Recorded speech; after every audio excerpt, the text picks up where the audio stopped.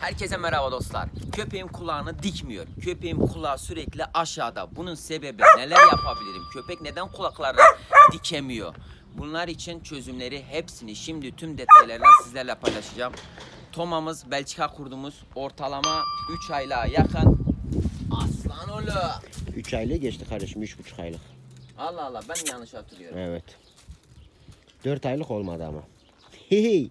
Toma. Görüyorsun kulaklar bildik. Maşallah.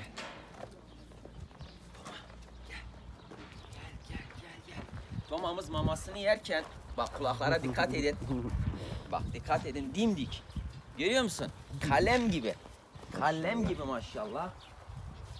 Abi buraya bırakıyorum şu yeşilliğe.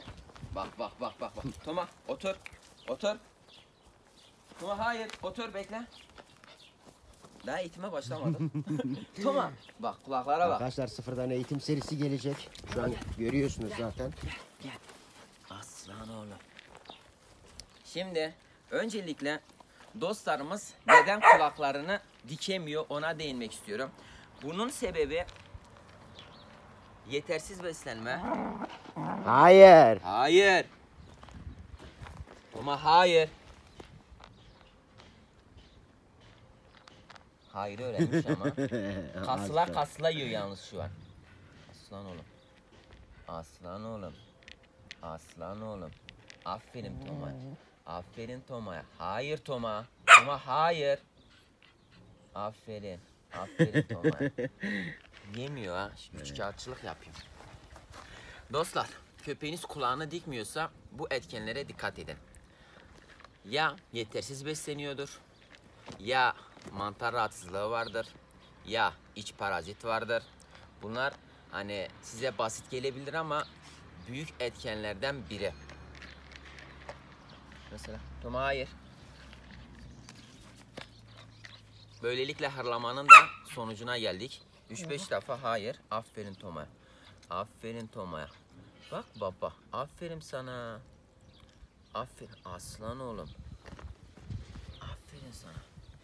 Bir diğer etken ise köpeğinizin kulaklarıyla elinizden geldiği kadar oynamayın. Çünkü köpeklerin kulakları ortalama 6 aya kadar dikleştirme süreci mevcut. Hani köpeğin kulağını dikmiyor ne yaptıysam olmadı. Bazı köpekler var ki 6-7 ayda zor kulakları dikiyor. Ama bazı köpekler de var güzel beslendiğime, gerekli, gerekli etkenleri yaptıktan sonra böyle bu şekilde 3 aylık, 3,5 aylıkken böyle dipçik gibi dikiyor. Değil mi Toma? Dik oğlum kulakları göster. Hadi Toma. Göster Toma. Tamam oğlum. Ye oğlum ye. Ye maman ye. Maman ye. Hadi. Tamam hadi. Sen mamanı ye. Şimdi kulakları dikmek için yapmanız gerekenleri söylüyorum. Bir, olmazsa olmaz o kulaklara dokunmayacaksınız. O kulaklar dikleşene kadar elini sürekli şu şekilde boğaz altı. Tamam mı? Tamam oğlum tamam ben de seni seviyorum gel yemek ye. Boğaz altıyla seveceksiniz. İki, glukozemin takviyesi. Ha, eğer maddi durumunuz yeterliyse kesinlikle yapmalısınız. Çünkü büyük etken kulak dikmede birebir. Hem kulak dikme hem kemik kemik, Kemik gelişimi gelişimi için. her türlü faydalı olacak. D vitamini kesinlikle veteriner hekiminizden almalısınız. Kalsiyum D vitamini. Ayrıyetten balık yağı eczanelerde alabilirsiniz. Zaten paketi 20 lira bir şey ama ortalama kaç ay boyunca kullanabiliyorsunuz. Bayağı etkili. Ne oldu buna ya? Yanlışım yoksa 90 tablet falan var balık yağında.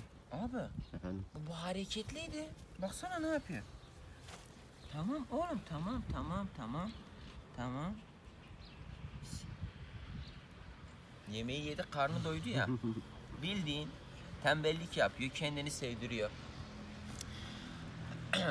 protein takviyesini dostlar vereceğiniz mamaların mutlaka protein oranı %30'a yakın olsun.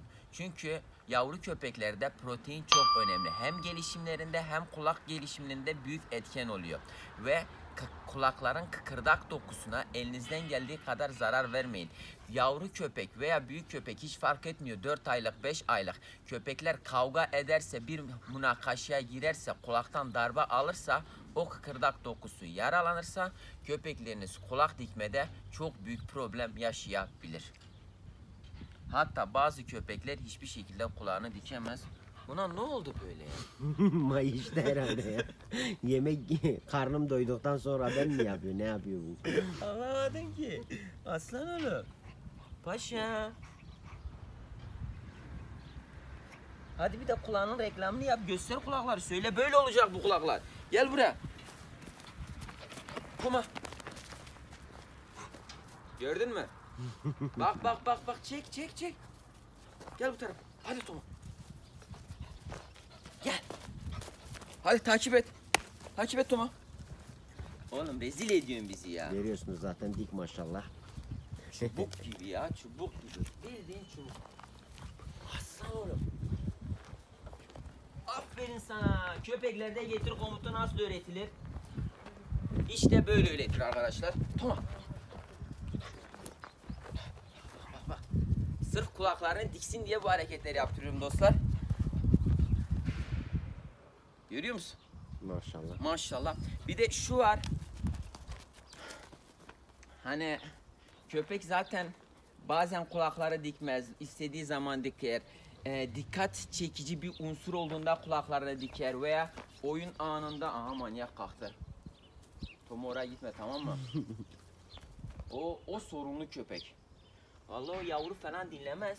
Oğlum sana ne yapar bilmiyorum. Alamayız da elinden.